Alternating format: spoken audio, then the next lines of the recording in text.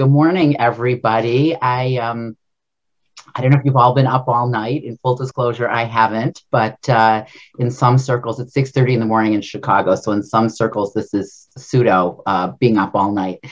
Anyways, I'm very delighted to be able to introduce Rabbi Steven Henkin. Rabbi Henkin serves Congregation Agudat Achim in Savannah, Georgia, and I know we all look forward to um, to your teaching this morning. So take it away.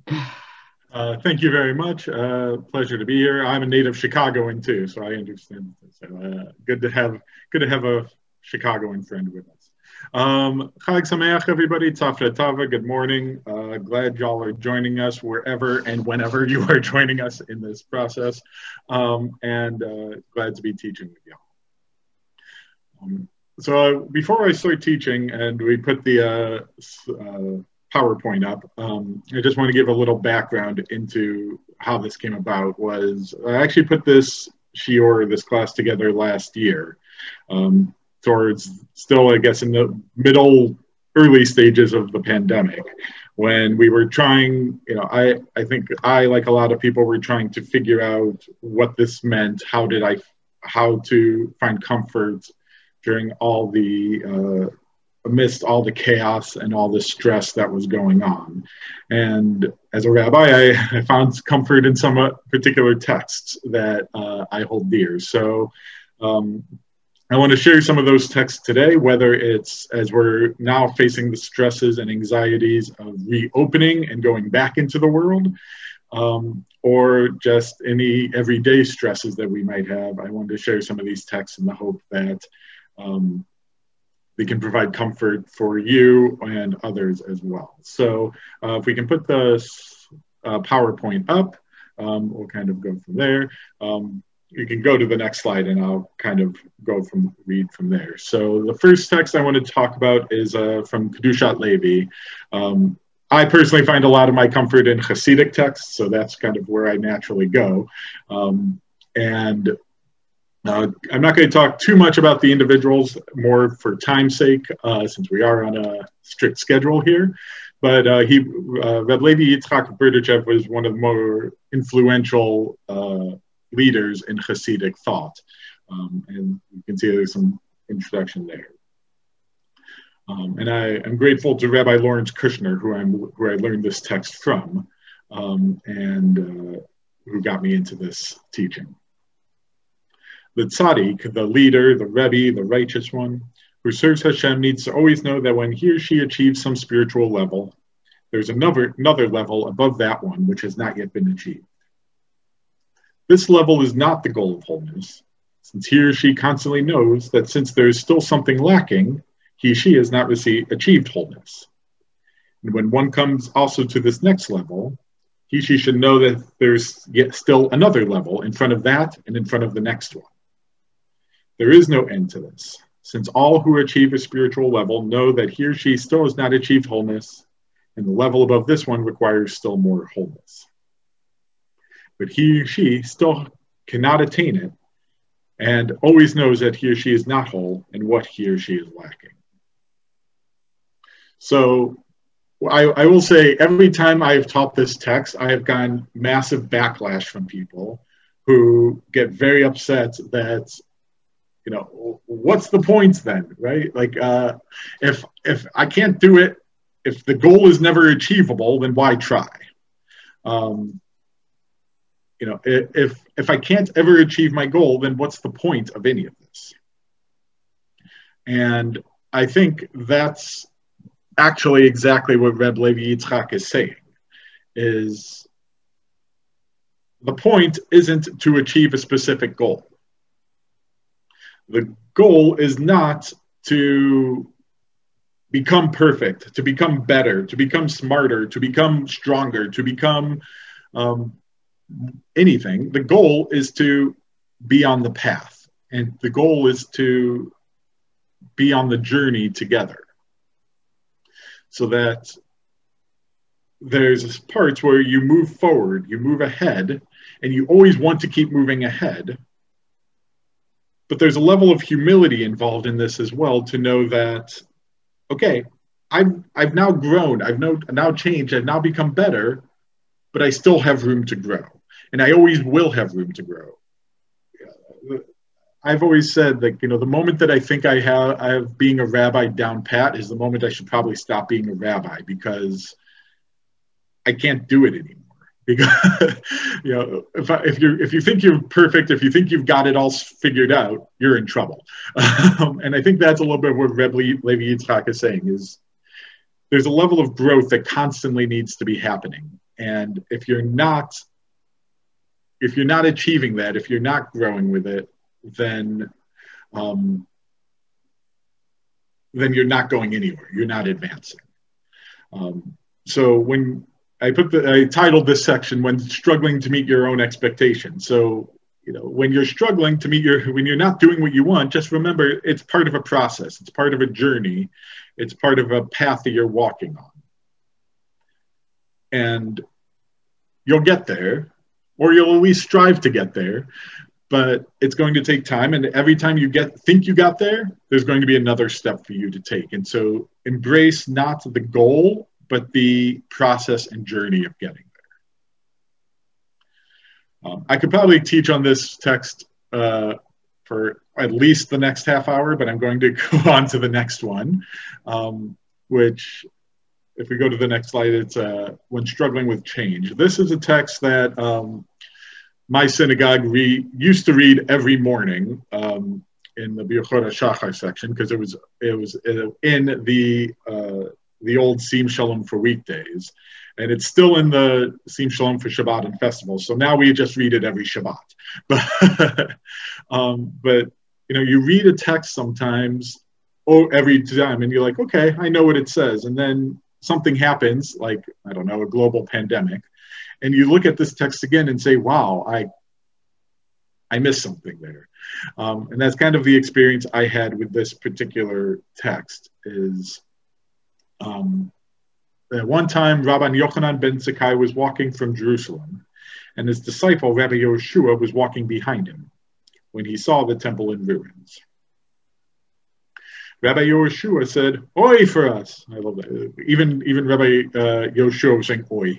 Um, Oi for us that this place that we used to atone for Israel's transgressions through sacrifices has been destroyed. Rabban Yochanan said to him, My child, do not grieve. There's another way we can gain atonement that is just as good. What is it? Acts of loving kindness, gemilut chasadim. As it is said, loving kindness I desire, not sacrifice. On its surface, I think this is a beautiful teaching and fits in a lot of prophetic teachings and fits a lot of what I think a lot we we like to hold on to that the ritual side is important for Jewish life. I'm going to put that out there as a conservative rabbi. I kind of feel like I have to say that. The ritual side is important, but ultimately, what God wants of us is gemilut chasadim, acts of loving kindness, to be good to each other, to treat each other well, to treat each other fairly, to be nice to each other. Um, and great. And I think that's a wonderful um, teaching in and of itself.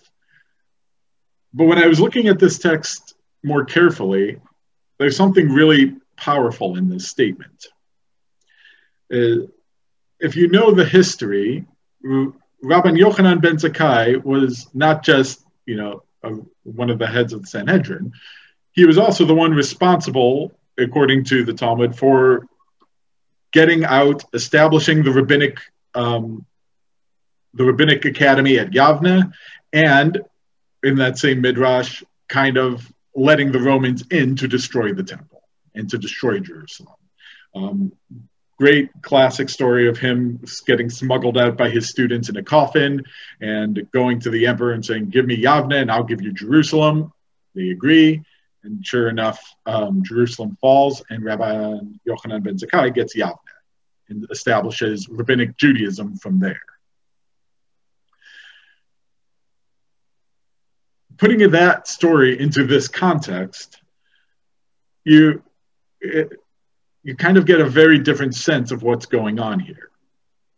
Rabbi Yochanan is walking past Jerusalem, and Rabbi Yehoshua looks back and says, not just looks at the temple in ruins and not just longs for a return to the sacrificial service, but longs for going back to the way things were.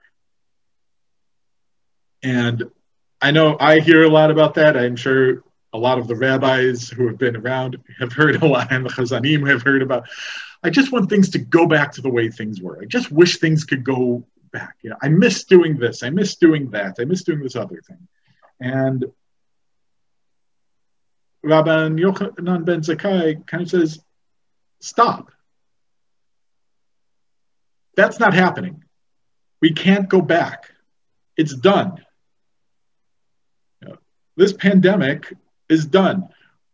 Not yet, unfortunately, but it's getting there, God willing.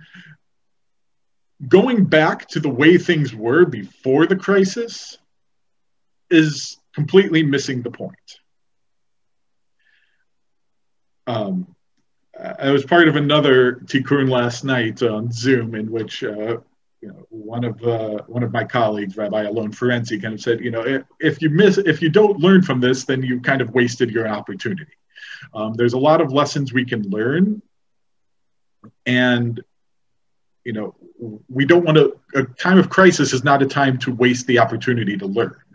Um, and I think that's kind of what Rabbi Rabban Yochanan ben Zakkai is trying to say is, okay, it's done. Sacrificial system's gone. Yes, we can mourn over it, but the time for mourning has passed. Now, what can we learn and what can we go?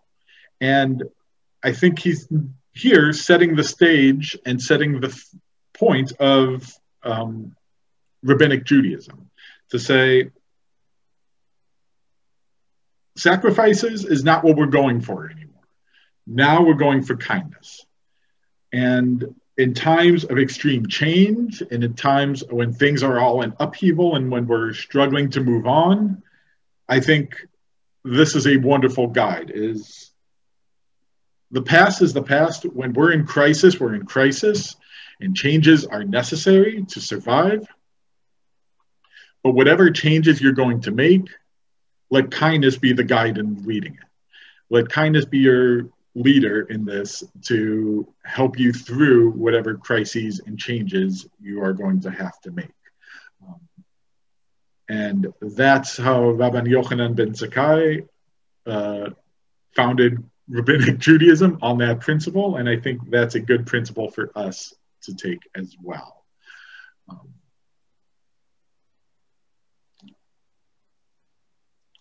let's go on to the next slide. Um, this is another text which um, I, I often get in trouble with when I try teaching it. And nonetheless, I'm going to uh, try to teach it today, this morning.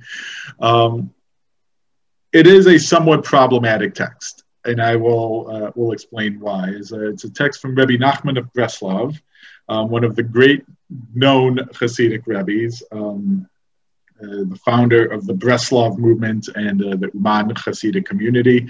Um, a very fascinating character in and of himself. If you haven't read any of the biographies on him, um, a fascinating individual, um, and his path to becoming becoming a Hasidic Rebbe. Um, this is a snippet from one of his teachings, which he says: "Falsehood, which is evil, which is impurity, is caused by distance from oneness. Evil is contrariety, for example, something that opposes a person's will is considered evil. But in oneness, contrariety doesn't exist. All is good. Let that sink in for half a moment here. Um, so, so what's Rebbe Nachman saying? He's saying that what we define as evil is usually something that opposes what we want. So that if it's not what we want, it's automatically bad. However, God, who we know from the Shema, God is one. Um, if God is one and God is good, then necessarily everything that happens has to be good. That's kind of the philosophical uh, philosophical train that Rebbe Nachman's thinking on here.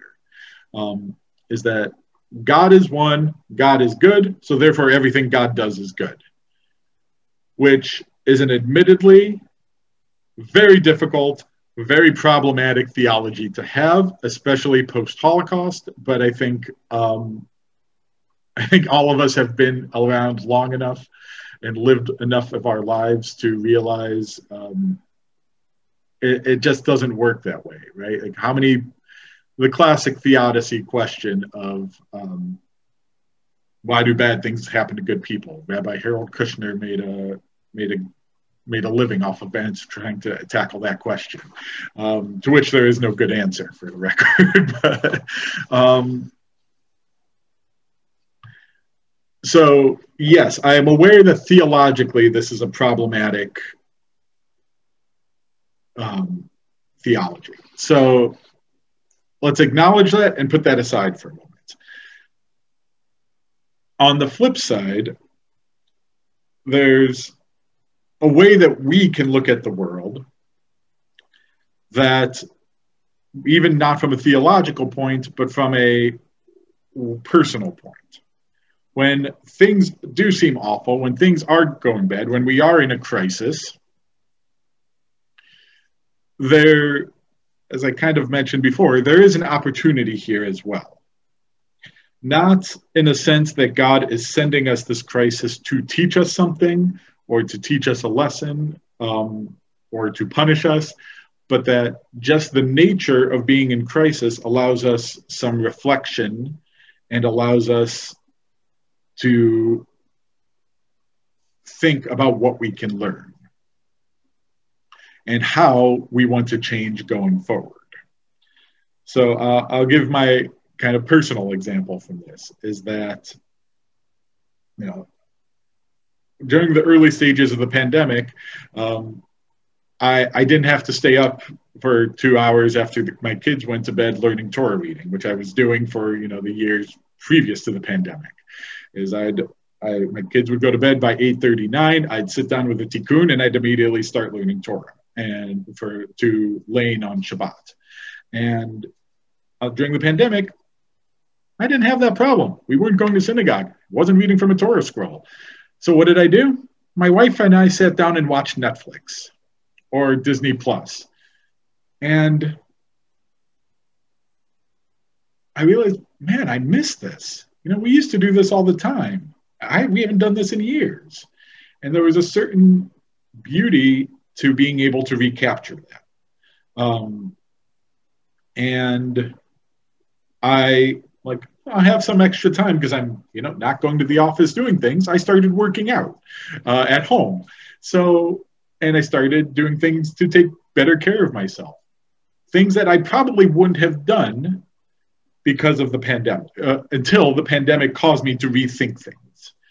Um, and I think that's what I want as a as the message to take away from this is look I, I don't want to minimize the awfulness of the the hor- the horror of the pandemic or the tragedies that it has caused because it has exacted a horrible toll um, from many of us. Both physically spiritually psychologically but i want to ask whether there's a possibility when we're struggling through these kinds of crises whether we can take a step back to reflect and say what can i learn from this um, what can I take away to to learn something good? And is is there something good that can come from this? Not because God is forcing us to, but because we have to force ourselves to to be able to move forward in a productive way. Um, and so, what can we learn from this to take with us to when the crisis is over? And what can we continue to incorporate into our new lives that are necessarily, as I said before, going to change because of this? Uh, we're going to go to our last text. I think I might have timed this just perfectly enough to be able to get to all of them. Um, Our last text comes from the Aish Kodesh, who another Rebbe that I have a lot of affection for. Um, if you don't know uh, Rabbi Shapira, he of Piasetzna, he uh, was taught in a Hasidic community outside of Warsaw before World War II, um, and then that community was sent into the Warsaw Ghetto, where uh, he continued secretly writing and teaching Torah um, until he was sent to work camp where um, it, he passed away. Um, and this you can see March 14th, 1942, this teaching is a segment of a teaching um, when things were getting clearly pretty bad inside the ghetto. Um, and he teaches, and he begins by citing uh, the Talmud from Masechet Chagiga. It mentions, in the outer chambers, strength and gladness in God's place. And in the inner chambers, God is sorry and weeps, as it were, for the pain of Israel. Therefore, at the time of God's concealment, that is to say, when the Holy One is hidden in the inner chambers, a Jew is alone with God there, each according to his or her own level, and there it is revealed to him or her Torah and prayer. So, this in itself is kind of a powerful statement um, that in, in typical rabbinic thought, um, when when things are going badly, when there is a crisis, the, the idea is that God is concealing, God is hiding. And God, we, that's why we often pray for God to turn God's face to us or to um, God, we pray for God to be with us so that God is facing us and when good things will happen. But he kind of suggests here that God isn't, that's not the cause, that's the effect. That when things are really going that badly, when thing, there is a crisis, God retreats inside God's in God's innermost chambers. Imagine God has a giant palace in heaven. God retreats inside and starts crying and weeping for God's people that are suffering. But that we have an ability to, to weep with God in those moments. Uh, if we go to the next slide, we'll read a little more about that. But as we mentioned above, the blessing one is found in the inner chambers and cries. When one who is suffering presses and approaches God with Torah, that person cries with the holy blessing one and learns Torah with God. This is the difference. One who cries, is in pain, is sorry about his or her pain, and suffers alone, can be broken and fall because of it, until he or she is unable to do anything. But the crying one does with God together strengthens the person. That person cries and is strengthened, broken but strong enough to study and pray it's hard not to read this and kind of think of what his own psychological uh, position was at this moment that he was writing this. Um, but there's a, an ability here that he's what he's kind of saying is when you're in this kind of crisis, as he clearly was, and his people clearly were in the ghetto, there's a point at which you want to say, I can't do this anymore, I'm done forget it. And he says that approach is a it's a legitimate approach. Um, you can, but then you you're alone, and when you're alone and you're suffering, you're going to you're going to crack. There's nothing left. You can't go anywhere. You won't be able to grow. You will, you can be broken and fall because until you won't be able to do anything. I suspect he was aware of quite a few of his own members and congregants who were in that position at the time, and he's speaking directly to them. Um, and he saw it happening. And I think we've seen it happening with people who have just kind of given up um, during this pandemic. Um, but there's a place here where God is inside God's chambers crying. And when we're suffering, when we're alone, and when we're willing to make the effort to continue to reach out to God with that, with that pain, with that suffering, with that loneliness, then we're not so alone anymore. Um, there's a level here where God is suffering with us when things are going badly. Um, and God is crying along with us for the tragedies and the pain and the suffering that's going on in this world so that we're not alone. That when there's a tendency when we when we're really going through something traumatic that we feel like we're by ourselves and nobody else can understand us. And I think what Rabbi Shapiro is trying to teach us is you're not. You're right. There might other people might not be able to understand what you're going through in that trauma, but God does. And if you're able to reach out to God on whatever level, whatever ability you can, um, God will be able and willing to sit and cry with you to help you be there. And sometimes that's all you need. Uh, anyone who has suffered a loss knows that sometimes you don't need resolution, sometimes you don't need um, an answer. Sometimes you just need a friend to sit there and cry with you. And when nobody else can do that, he's trying to offer that God is still willing to do that with you. And you can still be strengthened and strong enough to continue and to continue on your journey, to continue on your path, even in those moments. So, um, that's all the text I have for today. Um, just as a little bit of a tie everything together, that um, some things we can do when we're in these kinds of moments of trauma, these moments of crisis, is we can recognize that this is a this is a part of a journey. It's not an eternal part. Um, that we can we're hoping to move forward but well, even every step of the way is going to be another step. And you know, right now, people are saying, "Ah, oh, the pandemic is over." Well, guess what? There's still more steps to take to finish the pandemic uh, before it'll truly be over.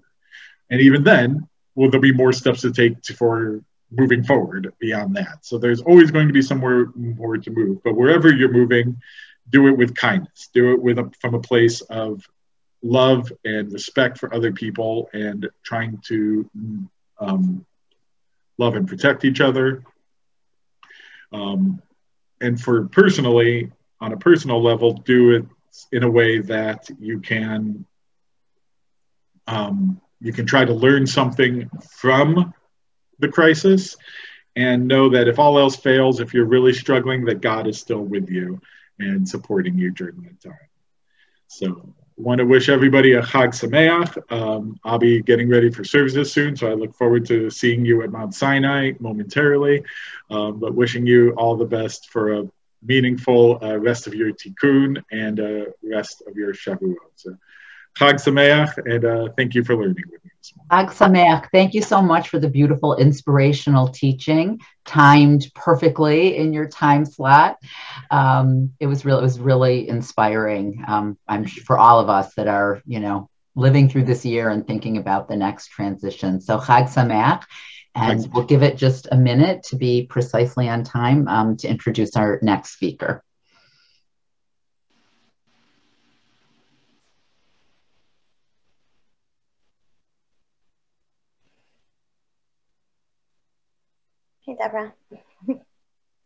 Hi, good morning. Good morning. Looking forward to uh, to your teaching this morning. I'm going to introduce you to the group.